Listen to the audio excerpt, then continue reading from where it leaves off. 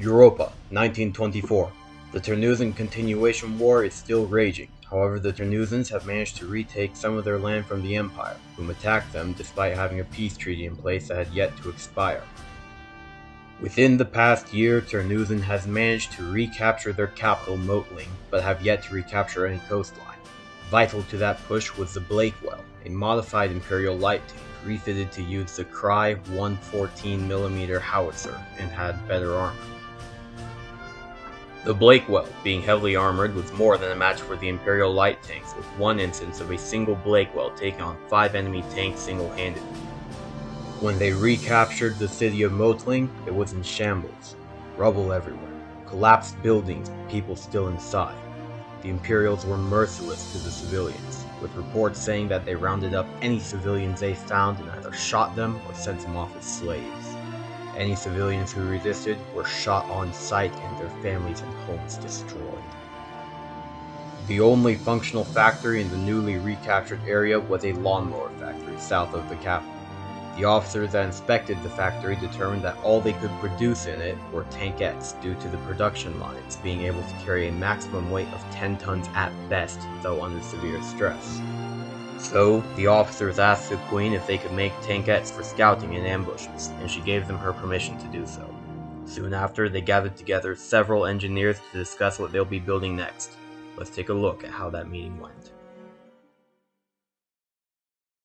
Hello, everyone. I'm Sergeant First Class Julieta, and I'll be giving you all the information you'll need. First, I'm glad everyone made it here safely. Second, after we recaptured our capital, we discovered a working lawnmower factory, suitable for making tankettes. And now for how we're going to make the tankettes. The design must be under 10 tons and with the maximum length being 4.5 meters and the maximum width being 2 meters because that's the most the factory production line can handle. But the lighter the better because 10 tons puts a lot of strain on the production line. Sergeant Julieta, you are under arrest for negligence of duty. You will come with me without speaking. I have Bob here to replace you for now. Now get a move on. Sorry for the abrupt change, everyone, but I'll be taking over for now. Let's see here. Going off of her notes and what I overheard, it looks like I need to pick up here. Uh, the only gun we can put on such a small vehicle is the QRAI 37mm anti-tank gun.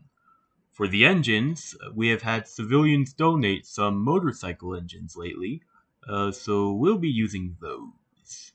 Uh, they're called the QRAI V2A and QRAI V2B, of which mostly V2Bs have been donated.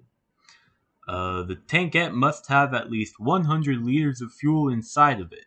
If you want, you can make the vehicle open topped.